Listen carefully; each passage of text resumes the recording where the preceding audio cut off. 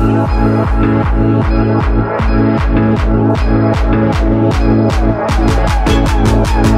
back.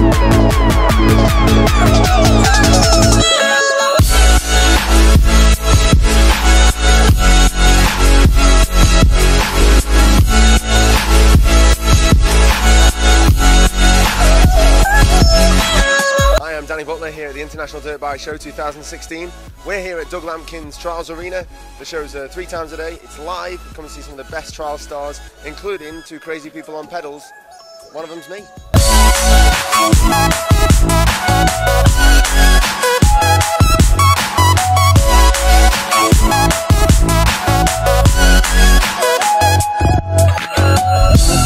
As I look outside